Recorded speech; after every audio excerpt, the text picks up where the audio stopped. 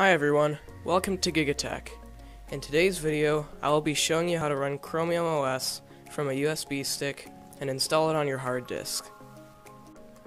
First of all, you will need to download a couple files.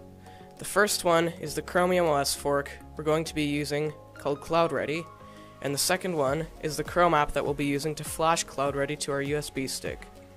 Links are in the description for both of the download sites. So, once your downloads are complete, you will need to plug in your USB stick, then open Chromebook Recovery Utility located in the folder Chrome Apps in the Start menu, then click the gear icon in the top right corner, then use local image, then select the zip you downloaded earlier, and then click open.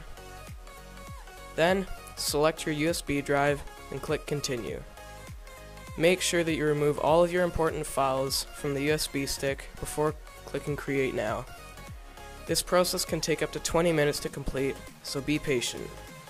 Once the image has been flashed, you can go ahead and unplug your USB stick and shut down your device. Now, press the power button on your device, and right away, go into your BIOS settings. This is usually done by pressing F2, F9, F10, or F12 depending on your device's manufacturer.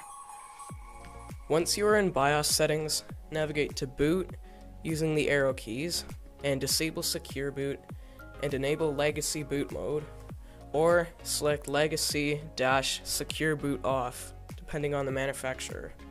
Then, save your changes and reboot, but this time, go into Boot Options by pressing either Escape, F9, F10, or F12 and select your USB stick by using the arrow keys, and then press enter.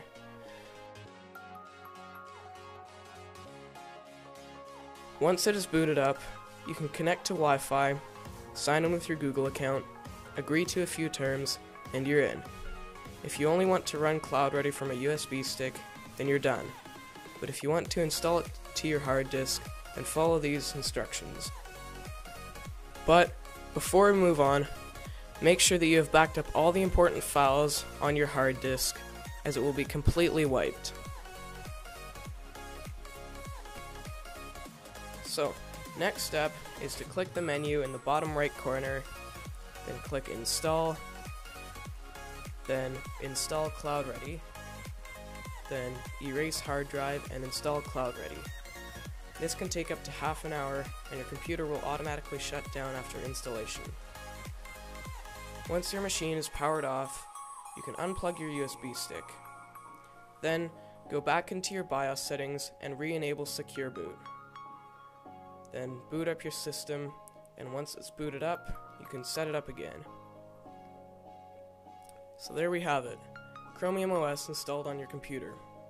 I hope you enjoyed this video, and if you did, give it a thumbs up and subscribe for more content like this.